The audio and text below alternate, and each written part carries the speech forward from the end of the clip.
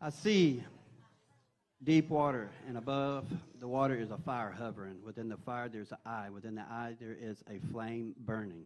And the Lord says, I am looking and burning stuff in here. I'm going to do a new thing that is unexpected. I release that to you in Jesus' name.